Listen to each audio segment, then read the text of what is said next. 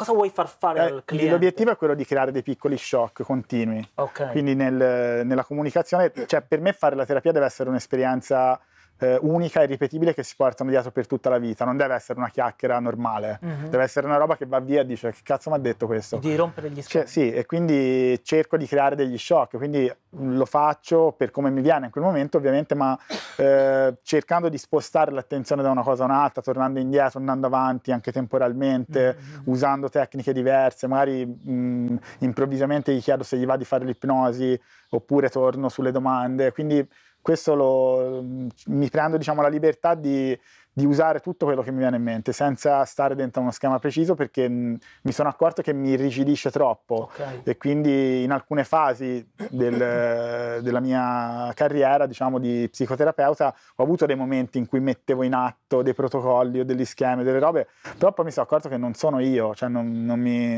non mi appartiene a me quella roba lì e quindi io devo fare quello che mi viene Certo. se mi viene se, e per come mi viene in quel momento lì e quindi allora attingo da tutto quindi può essere la musica può essere eh, la scrittura il disegno la pittura il dirti che mi sto annoiando eh, o qualsiasi altra cosa. Mi è capitato di eh, fermare una persona mentre mi raccontava un fatto e di dire: C'hai una bella voce, secondo me devi fare lo speaker radiofonico, e questo fa lo speaker radiofonico. No, fantastico. Cioè, gli hai, hai Sì, io ho detto: Secondo me devi fare. C'è una voce bellissima, e siamo stati un'ora a parlare di quello alla fine. Cioè, non, so, non mi ricordo neanche di cosa, qual era il problema, l'aveva portato lì. Fantastico. Però per me questa è psicoterapia. Certo. Fare questo, non solo eh, seguire un- una procedura standardizzata. Quindi quello che tu fai è un iniziale lavoro di calibratura, di sintonizzazione con la persona per avere un'idea che poi puoi modificare, però ti dà un'idea iniziale. E poi devi andare a rompergli degli schemi. Rompergli gli schemi, ehm, sì, o creare delle, non so come chiamarle, delle, delle visioni, delle angolature diverse in cui, in cui guardare, ma in maniera, un po' come diceva Federico, però in maniera un po' scioccante. Sì, esatto, che- un po' dirompente. E ho visto ad esempio che, come scrivo nel libro, le persone eh, spesso stanno o nel passato o nel futuro. Chi ha paura Mhm. pensa ho paura che succederà qualcosa nel futuro, oppure il depressone che pensa al passato. Quindi già questa discriminante qui mi, mi orienta un Mm. po' su dove andare a parare e cerco di spostarlo da lì. Ok. Se sei sul passato ti porto di là, Ok. se sei sul futuro ti porto di là, cerco di, di- di fargli esperire qual- eh, qualcosa di diverso da quella che è la sua tendenza, come se fosse un vizio, Mhm. come se lui avesse il vizio di stare nel passato. Allora, per fargli vedere che può anche non stare solo lì, cerco di farglielo vedere, sentire in vari modi. Poi magari provo in un modo, vedo che non attacca, ne uso un altro. Non hai mai usato la parola tentate soluzioni, nel senso che non è più un qualcosa che ti appartiene, non lo fai con la finalità di interrompere le tentate soluzioni funzionali, che è una cosa eh, che nell'approccio strategico è principale, o lo fai ma...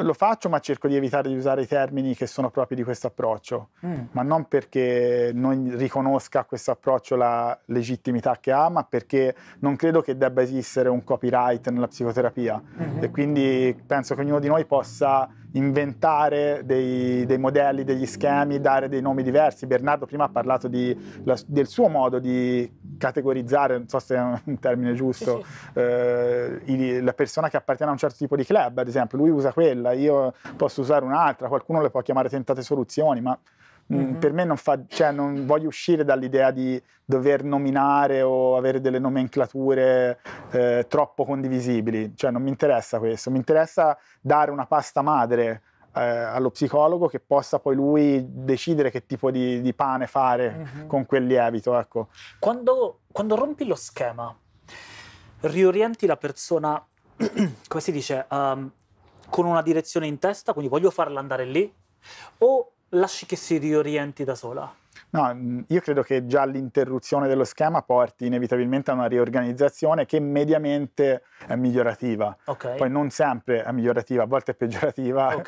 Eh, Ah, ovviamente e- sei attento a evitare E lì che- poi sì, no, ma magari anche nel peggioramento c'è poi un'utilità, come sappiamo, insomma le tecniche paradossali Sì. ci, ci insegnano che anche nel peggioramento c'è il miglioramento e quindi eh, si utilizza un po' tutto, no? Ericksonianamente. Mm.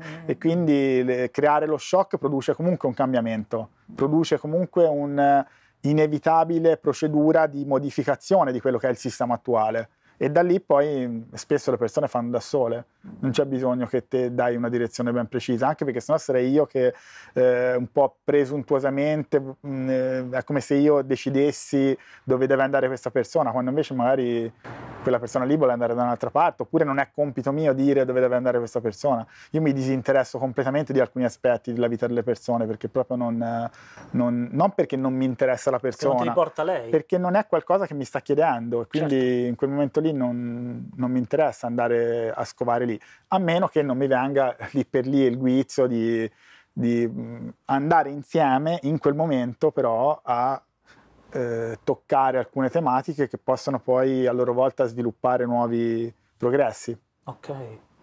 Um, ho visto che stai anche, mm, visto, so che stai anche poi facendo uh, delle formazioni, per esempio con, con Luca, con, con Gennaro, uh, stai anche portando avanti quella, quella parte, la parte di e poi il libro, che è un libro di self-help, sta anche portando avanti quella parte, la parte di uh, aiutare le persone non con la terapia strettamente, ma um, anche con la formazione. Beh, sì, quello è un po' un, un, mio grande contrasto, cioè da una parte sono molto attratto da quel mondo della formazione, del, del fare eventi in cui si parla di queste cose, dall'altra parte ho un, una sorta di rifiuto, quindi eh, vado molto a giornate, cioè c'è la giornata in cui sono preso bene, che ho voglia, mi, eh, sono felice, entusiasta, energico di farlo, altre volte che non ho voglia per nulla.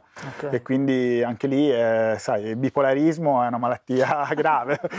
non vanno curate tutte le malattie. no, infatti, basta saperci convivere in un certo modo. Io credo che eh, onestamente la categoria degli psicologi, dico sempre un po' scherzando, ma fino a un certo punto siamo una categoria un po' di disagiati e quindi eh, ognuno di noi ha eh, evidentemente delle problematiche che l'hanno portato ad approfondire o entrare dentro, eh, se non altro l'idea di scegliere di studiare queste cose, perché chi te lo fa fare, se ci pensi bene, a 18 anni andare lì a eh, studiare perché le persone stanno male, in che modo stanno male. E quindi nel momento in cui fai un po' pace con questo discorso qua e inizi a utilizzare anche i tuoi disturbi a favore di quello che fai, tutto sommato diventa anche divertente. Fantastico. Ti chiedo l'ultima domanda che ho fatto a tutti, quindi la devo fare anche a te. Ti farei un sacco di altre domande in realtà, però anche qui ci sono i, i tempi. Um, immagina che dei colleghi ci ascoltano e tu gli vuoi suggerire un esercizio da fare nella vita quotidiana che gli possa essere utile per allenare un talento, una capacità, un qualcosa che poi si porteranno nella psicoterapia, quindi gli sarà utile all'interno della psicoterapia. Ma mm, credo che la cosa più importante in assoluto sia guardare le scarpe alle persone. che cazzo di domanda ho fatto, eh? Ovvio, no? e questa è la prima.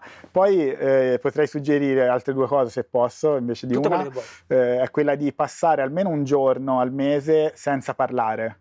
Fantastico. E quindi in mezzo alle persone, però non da soli. Quindi passare una giornata in giro guardando e esercitare così l'osservazione. E quindi passare una giornata così a guardare gli altri senza. Vai su un treno, vai, fai un viaggetto, un giro, vai in certo. una città, in una piazza. È una cosa che hai fatto, peraltro, l'ho letto. La faccio eh, spesso. Eh, forse sì. l'hai detto, l'ho letto. Sì, sì, la faccio spesso. Sì. Quando ho del tempo libero parto, vado e sto in silenzio, senza cellulare, senza niente e Grande. osservo le persone. E da lì poi eh, a mio avviso, sviluppare la capacità osservativa necessaria per eh, entrare in sintonia con le persone, perché questo penso e mi sembra di aver capito che tutti abbiamo ripetuto e detto che è un elemento fondamentale. Mm-hmm. Eh, ascoltare e osservare bene le persone nel nostro lavoro è fondamentale, sì. a, a, prescindere poi da, dall'approccio che usiamo. E quindi avere questa capacità di osservazione anche ossessiva, se vogliamo, è un, un, un, esercizio a mio avviso fondamentale per poter fare bene questo. Ok. E ce n'era un altro? O mi ricordo male? Ma forse sì, ma me lo so scordato. Ricordarsi le cose. Ok, Jerry, fantastico, fantastico. Grazie, grazie mille. Grazie, grazie a te. A te. Abbraccione.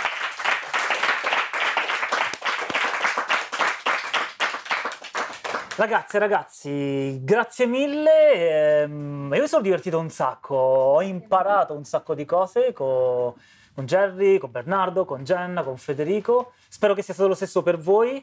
Grazie veramente perché è stato anche speciale, un po' emozionante almeno per me farlo, fare questo davanti. Di solito siamo io intervistato, Federica, tre telecamere e stop, invece a volte c'è anche Federica, c'è Skype.